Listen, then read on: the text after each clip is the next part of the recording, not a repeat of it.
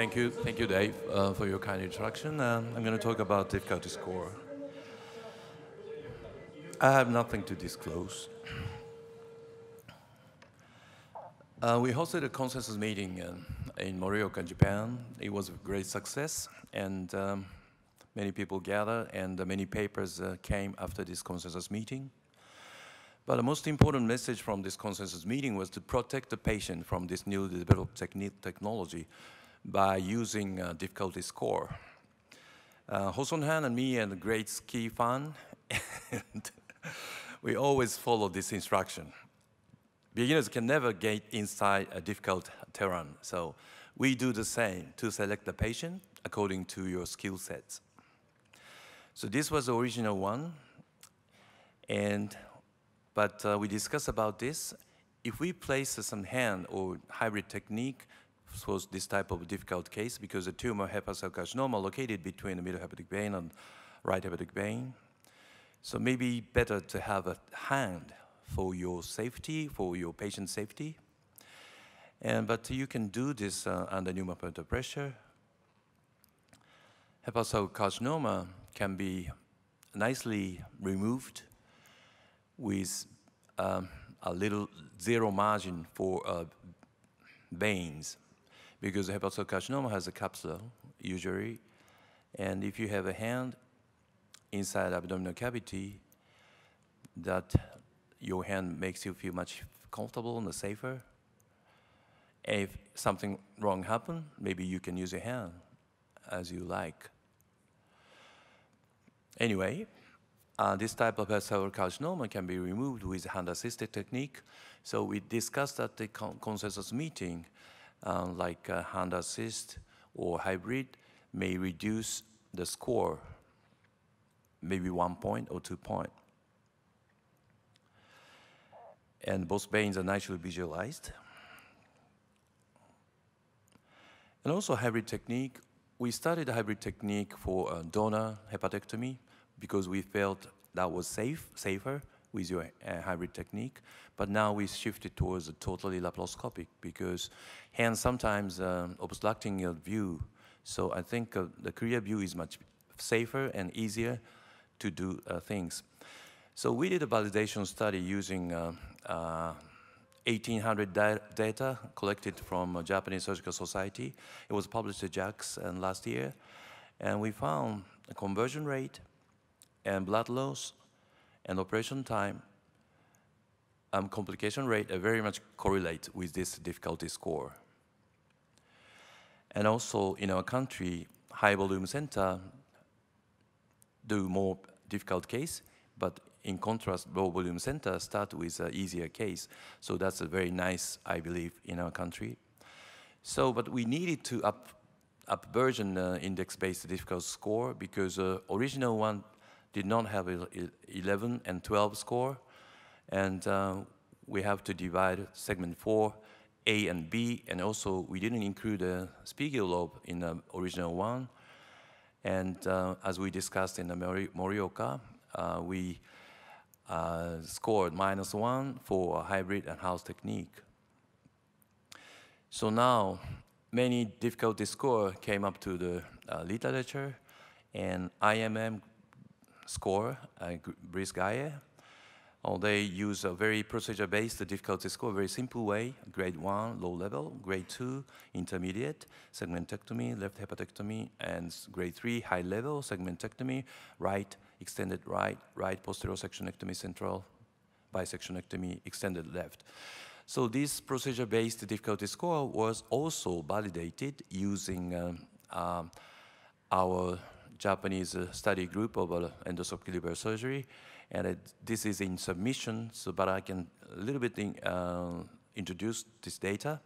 So Japanese cohort, 867 cases, and IMM cohort, we did a mutual validation, and also conversion rate, and operation time, operation time, and blood loss correlates with this uh, uh, variation. Uh, these two uh, uh, two difficulty score are nicely validated with these, these two different cohort.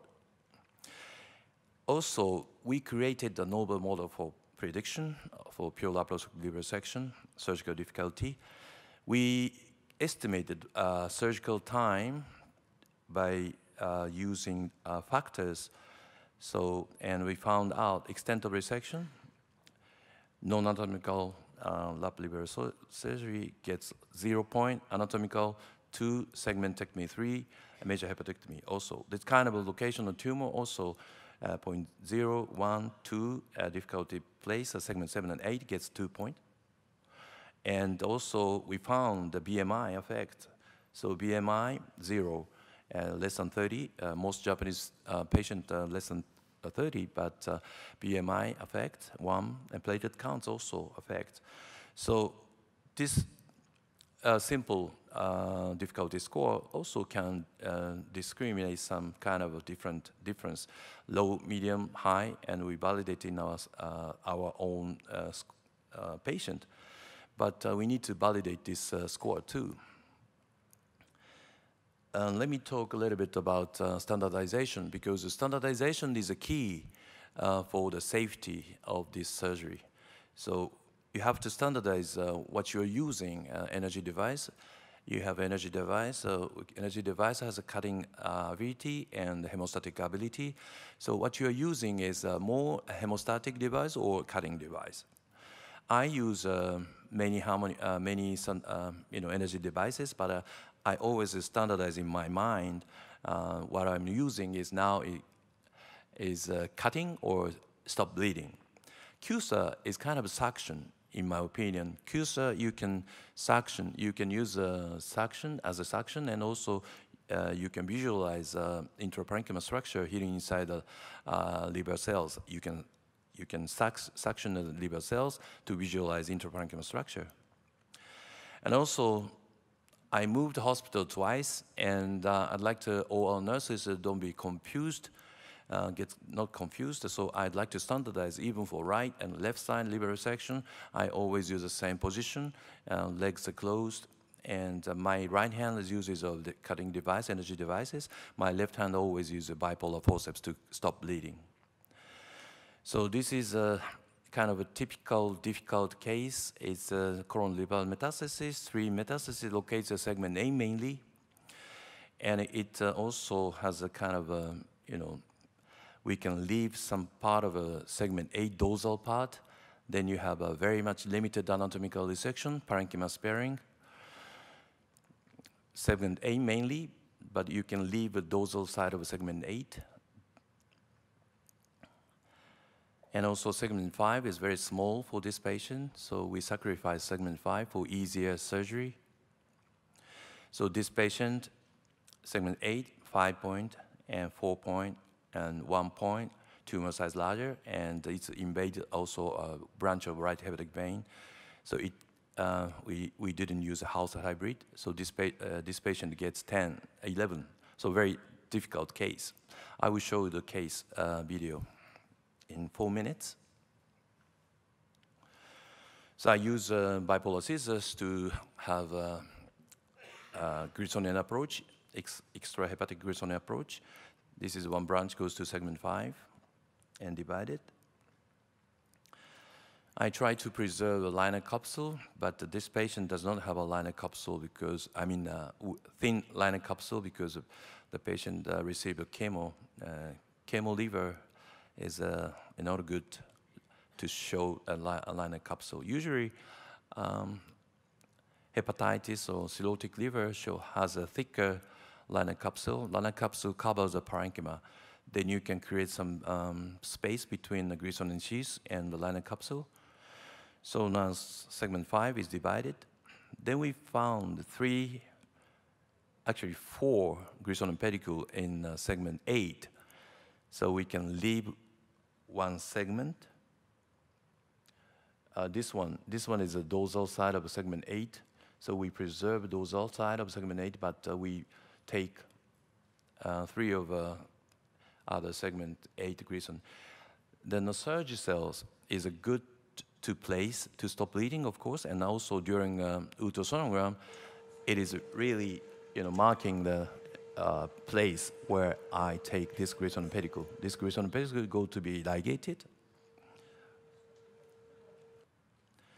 Then I place a bulldog clamp. Then I ask anesthesiologist to uh, infuse, inject indocyanine green, 1 milliliter, 2.5 milligram. Then we have nice demarcation line between posterior sector, and anterior sector. As you can see, the margin between anterior sector and posterior sector is uh, not straight. It's a really zigzag. You can follow this uh, demarcation line. So ICG technology is very much helpful to identify this perfusion area, unperfused area. So in my opinion, anatomical resection, not leaving any unperfused area, it is much better. And also, Ho-Seong Han and Claudius Conrad showed the nice data. If you remove every unperfused area and the remnant liver, you will have a better disease-free survival, even in hepatocellular carcinoma and colorectal liver metastasis. So parenchymal transection can be done like a clamp crush method or CUSA. If I, I am facing uh, uh, vein or Glisson, I use CUSA. CUSA is much safer, easier. So middle hepatic vein is uh, visualized because those main hepatic vein is a border between anterior sector and the posterior sector. Then I middle hepatic vein is exposed uh, almost uh, freely, and this is a V8, and this is a V5. So both of the vein are clipped and divided. Even though this is a colorectal demand metastasis, but I decided to perform anatomical resection, but it's a limited anatomical resection. That means a parenchyma sparing limited anatomical resection. So finally, these three Grissom and pedicle goes to segment 8, leaving the dorsal side of a segment 8 is going to be staple.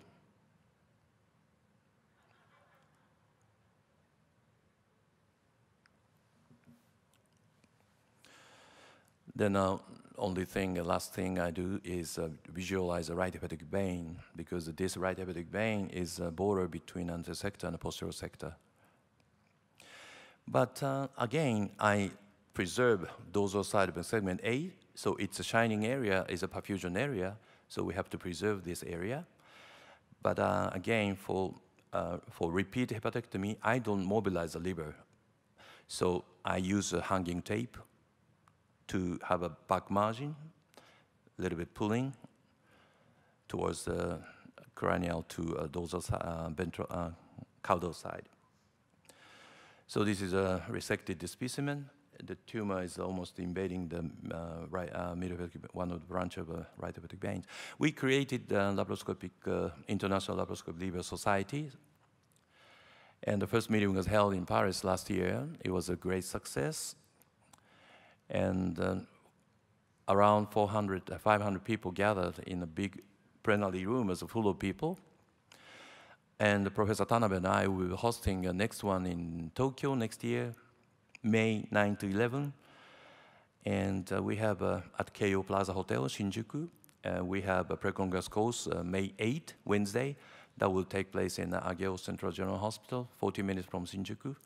And hands-on seminar, we use uh, two uh, facilities, the Johnson Johnson Institute and Medtronic Innovation Center near Haneda Airport. So uh, you can spend almost one week. Registration starts July and uh, close, I mean, um, abstract submission deadline at the end of November. So visit, visit our homepage, and this is the day, view of Shinjuku, night view. Shinjuku is nice. Sometimes you can encounter Godzilla. And also, you, of course, you enjoy sushi and ramen and Kobe beef. This is a wild place in Shinjuku. Don't go there without your Japanese friend. so, pre-congress course, May 8, a hands-on seminar, 11 Saturday and Sunday. So this is kind of a laparoscopic liver surgical week. So we will welcome you all. Thank you very much for your kind attention.